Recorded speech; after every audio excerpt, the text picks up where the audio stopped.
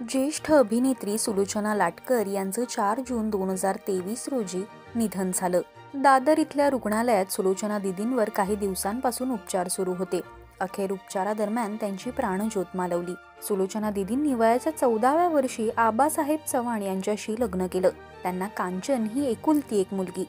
तर अभिनेते डॉक्टर काशीनाथ घाणेकर हे सुलोचना दिदींचे जावई.